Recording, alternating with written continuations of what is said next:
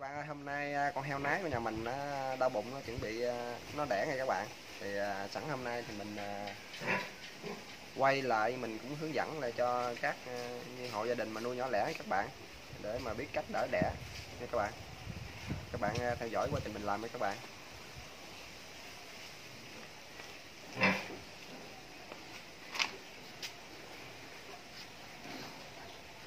Hay là mình ờ, nó đau bụng đó các bạn ơi, nó đang bị đẻ luôn các bạn ơi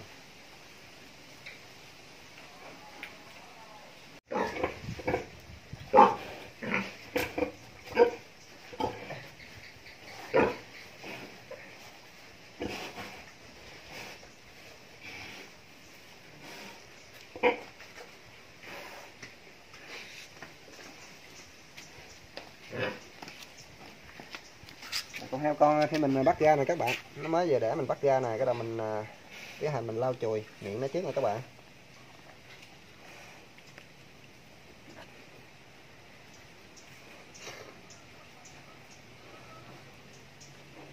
Lau chùi miệng nó trước nè. Rồi. Khi mình lau chùi xong rồi bắt đầu mình à, tiến hành cắt đúng các bạn ơi.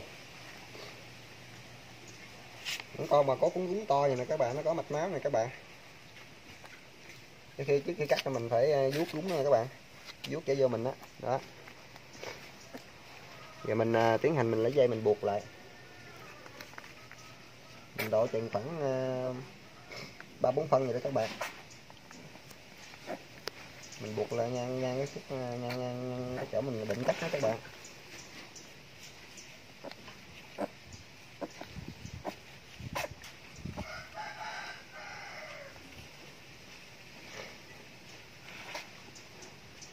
Đây, mình không có sử dụng bao tay các bạn ơi, bao tay trơn lắm, mình khó cầm con heo lắm. Ra mình làm tay không luôn. Lưỡi làm đâu lưỡi làm đâu rồi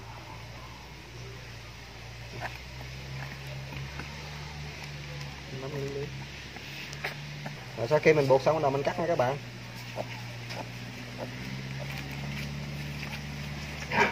có những con ờ, heo mà có cuốn gúng gì nè máu nó ra dữ lắm các bạn phải buộc lại chúng thôi là nó ra máu là mất sức con heo chứ. Giờ mình bỏ ra đây. Cái mình mình khỏi cần lau các bạn ơi. Cái mình con heo khỏi cần lau mình chỉ cần lau cái miệng nó được rồi cái mặt nó được rồi. Rồi khi mình buộc đúng xong bắt đầu tiến hành cắt đuôi các bạn.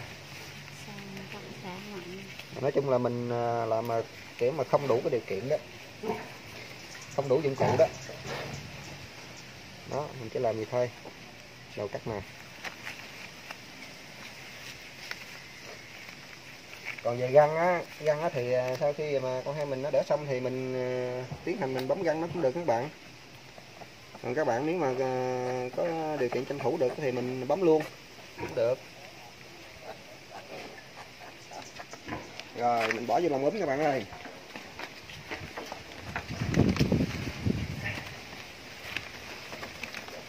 Đó của mình nè các bạn ơi.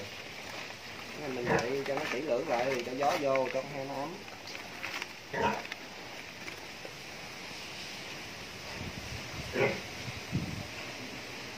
Con heo nó dặn như đẻ các bạn.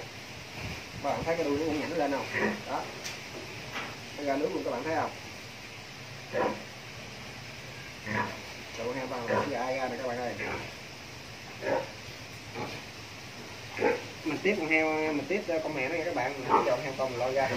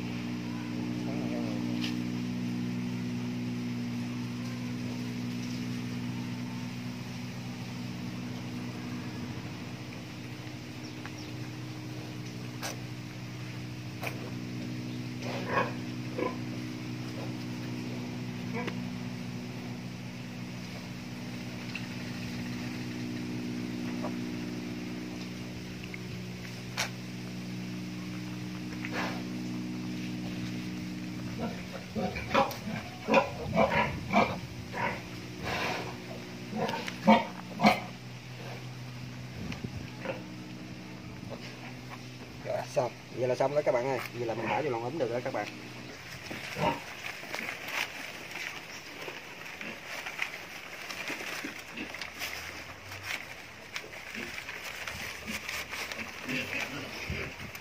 Thì à, con heo mà, con heo nái mẹ mà mình thấy trước khi mà nó đau bụng sắp chuẩn bị đẻ nó thì mình à, chuẩn bị là lồng ấm. Đèn xong. Mình chuẩn bị trước nha các bạn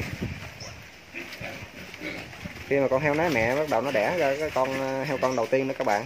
Khoảng ờ, từ 15 phút đi, các bạn bắt đầu ờ, tiến hành chích thuốc kích dục cho con heo nó nái, nó đẻ nhanh chút.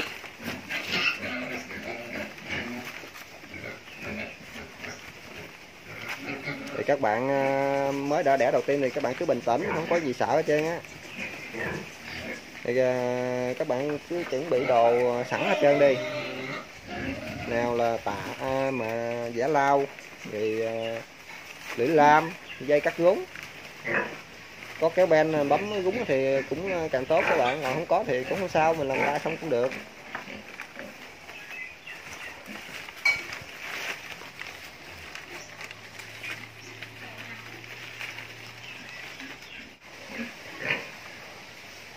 Có nhiều bạn mới đỡ đẻ đầu tiên các bà sợ rất là gung mà, rất là- thì mình à, khuyên các bạn là mình có gung có sợ gì hết, các bạn cứ bình tĩnh.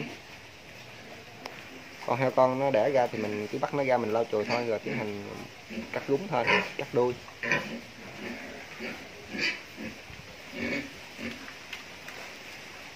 Đây là chuồng heo nhà mình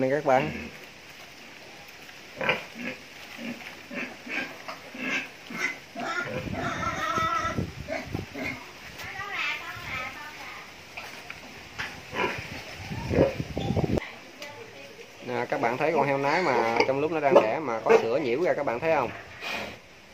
Là cho thấy là con heo mình là nó mát sữa các bạn là sữa nhiều. Nghĩa là trong ờ, lúc mang bầu đó mình ờ, chăm sóc ờ, mình cho ăn uống đầy đủ chất dinh dưỡng. Nha các bạn.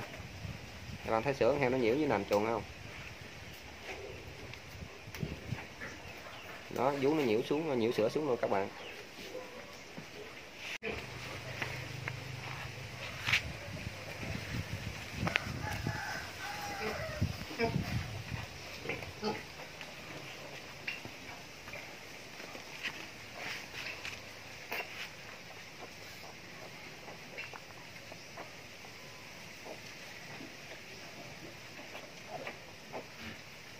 ra hai con một lượng luôn các bạn ơi.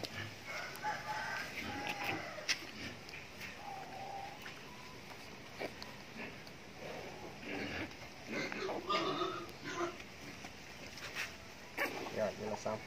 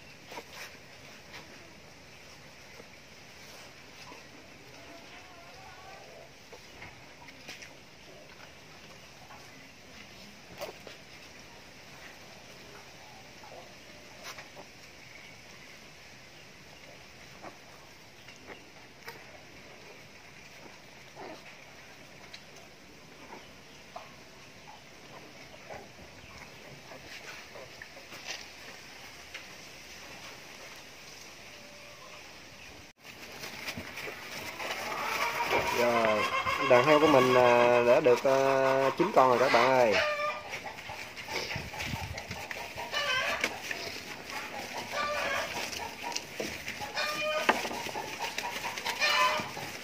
Đối với mình vậy là cũng đặt yêu cầu rồi các bạn ơi. Có nhiều nữa thì tốt. Được như đây cũng là đạt yêu cầu rồi. Chín con.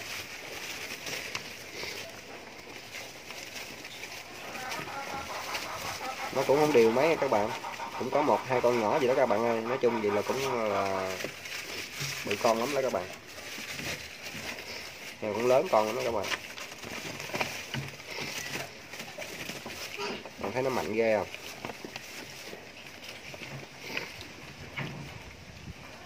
Mới để xong khoảng 2 tiếng đồng hồ các bạn.